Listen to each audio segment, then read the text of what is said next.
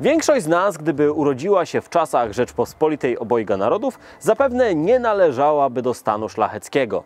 Choć szlachciców było u nas więcej niż gdzie indziej, to i tak stanowili oni niewielki procent całej populacji. Pechowe urodzenie, wbrew obiegowej opinii, nie oznaczało jednak, że przeniknięcie do grona herbowych braci było niemożliwe. Z pewnością jednak nie należało do najłatwiejszych. Chłop, mieszczanin czy cudzoziemiec mieli kilka opcji, zarówno legalnych, jak i bezprawnych. Te pierwsze wymagały albo ciężkiej od monet sakiewki, albo brawury na bitewnym polu, a i tak bez dużej dozy szczęścia mogło to nie wystarczyć.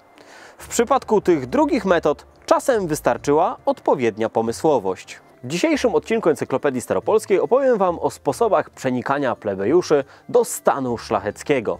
Za tło naszej opowieści posłuży nam malownicze muzeum we Wdzydzach Kiszewskich. Niektóre ze znajdujących się tu obiektów pamiętają czasy Rzeczpospolitej obojga narodów.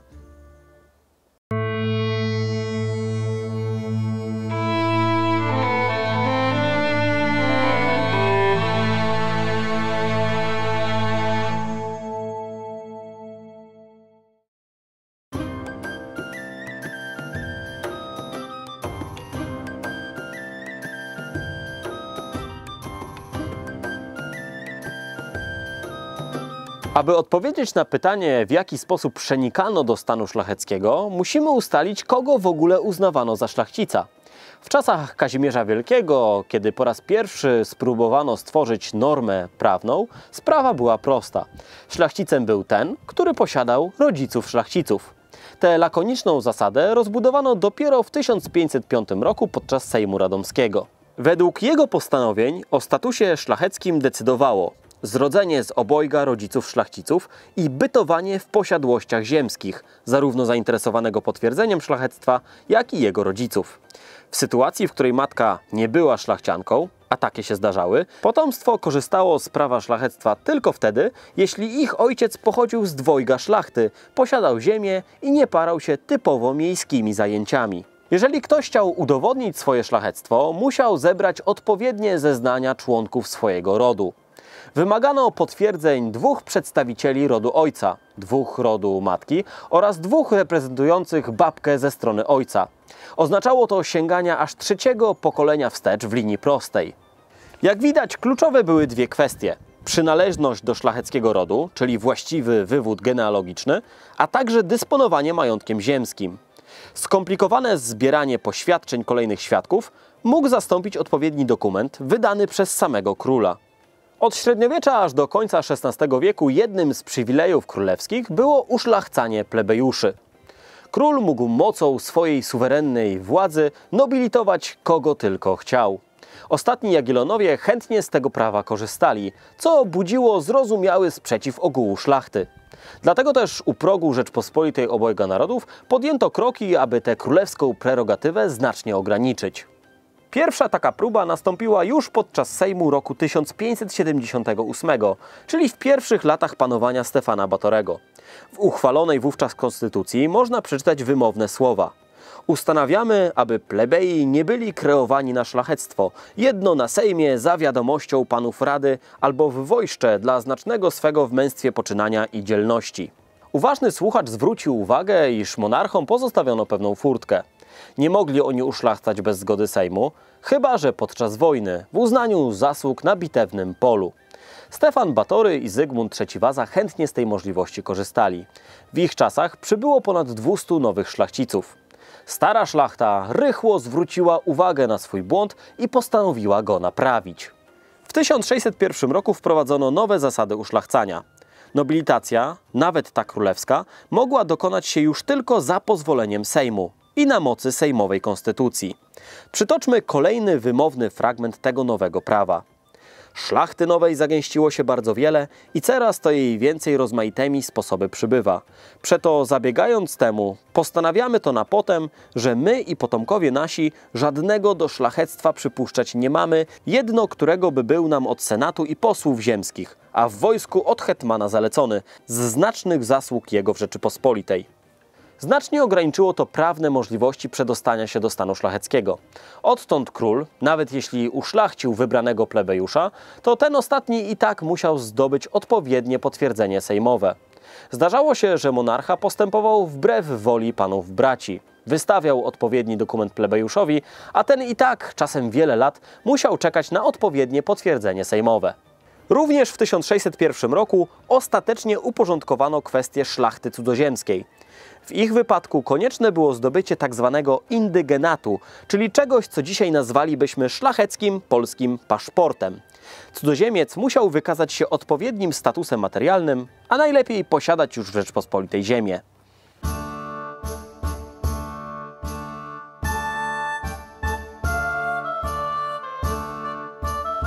Zgodne z prawem możliwości przedostania się do stanu szlacheckiego były więc dość ograniczone. Do końca XVI wieku wystarczyło w jakiś sposób przypodobać się królowi. Pomocne w tym były oczywiście pieniądze. Najlepiej bardzo dużo pieniędzy. Ewentualnie brawura i odwaga na polu bitwy. Najlepiej w sytuacji, w której monarcha znajdował się w pobliżu i mógł to dostrzec. Łatwo się więc domyślić, że takie legalne sposoby przenikania do wyższej warstwy społecznej, choć zdarzały się, to nie były powszechne. Dotychczas opisywałem jednak normy prawne, a w Rzeczpospolitej obojga narodów prawo często szło w swoją stronę, a rzeczywistość w swoją. Po pierwsze, mimo iż w normach prawnych podkreślano konieczność osiadłości, to bardzo duży odsetek szlachty własnych majątków zwyczajnie nie posiadał. Po drugie, również wywód genealogiczny nie był czymś, czego nie dało się załatwić, szczególnie kiedy wiedziano w jaki sposób zmotywować potencjalnych krewnych. Najlepiej za pośrednictwem odpowiednio ciężkiej sakiewki. Ponadto społeczeństwo szlacheckie było bardzo zróżnicowane. Mieścili się w nim ludzie o różnych majątkach, pochodzeniu oraz wyznaniu religijnym. Wszystko to powodowało, że istniały również ścieżki umożliwiające nielegalne przeniknięcie do grona herbowej braci. Jeżeli posiadało się odpowiednio dużo gotówki jako taką ogładę, najprościej było po prostu udawać szlachetnie urodzonego, przybierając w tym celu nazwisko i herb. Czasem zmyślone, czasem należące do zmarłych lub zaginionych szlachciców. Potem wystarczyło zmienić otoczenie. Rzeczpospolita była wszak ogromnym krajem. Dalej było już z górki. Udający szlachcica mógł ożenić się ze zubożałą szlachcianką i w ten sposób potwierdzić swoje prawa. Mógł też przekupić odpowiednią dużą liczbę krewnych, aby świadczyli w jego imieniu. Popularną sztuczką było wynajmowanie przez noworyszy szlachciców, którzy najpierw wnosili do sądu wniosek o naganę szlachectwa zainteresowanego, a później sami go wycofywali, co było równoznaczne z uznaniem, że dany człowiek jest szlachetnie urodzony. Szlachcica relatywnie łatwo można było udawać także w wojsku, szczególnie w chorągwiach o różnorodnym składzie etnicznym i klasowym. W takim wybuchowym gronie kawalerowie z odpowiednią fantazją mogli łatwo wybronić swojego niby pochodzenia za pomocą szabli i samopału.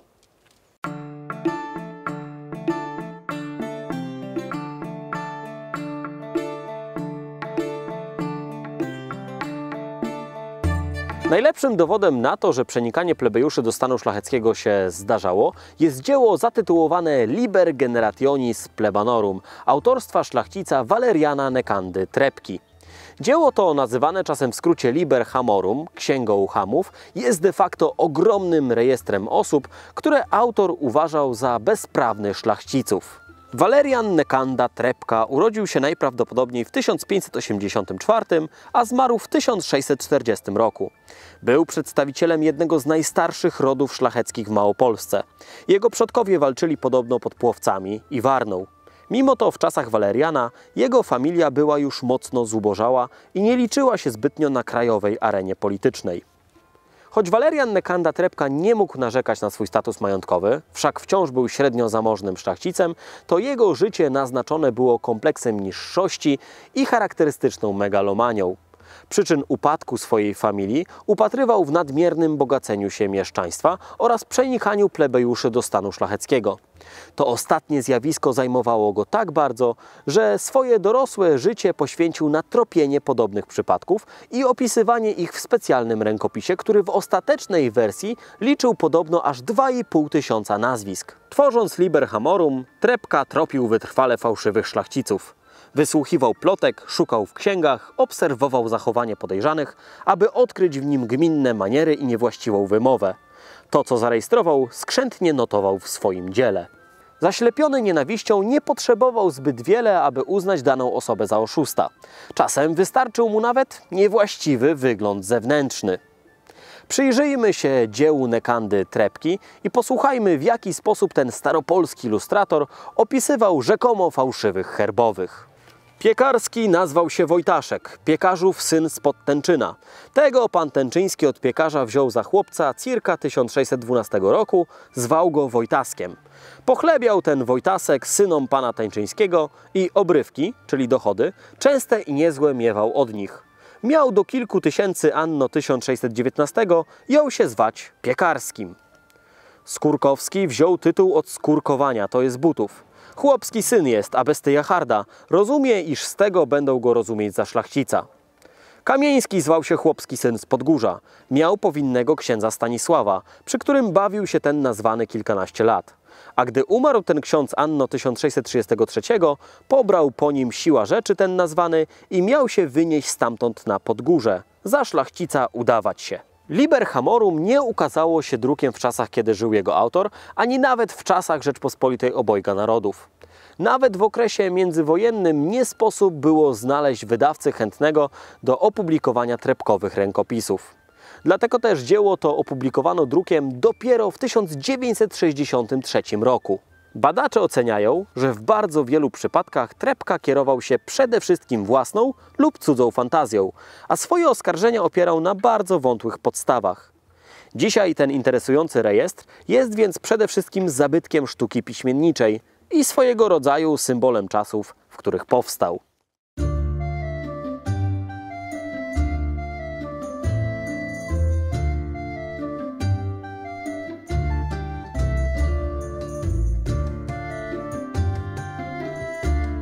Choć nie należy wierzyć wszystkim tezom stawianym w księdze Hamów, to samo jej powstanie świadczy o tym, że zjawisko przenikania plebejuszy do stanu szlacheckiego, choć może nie aż tak powszechne, to z całą pewnością w dawnej Rzeczpospolitej się zdarzało.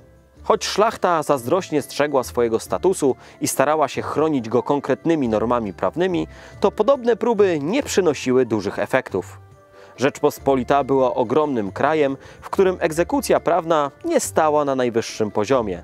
To dawało szansę sprytnym kmieciom, mieszczanom czy żołnierzom na samodzielne dorobienie sobie herbowego klejnotu. W dzisiejszym odcinku Encyklopedii Staropolskiej to już wszystko. Serdecznie zachęcam Was do subskrybowania mojego kanału i wspierania mnie za pośrednictwem portalu Patronite. Do usłyszenia, do zobaczenia. Czołem!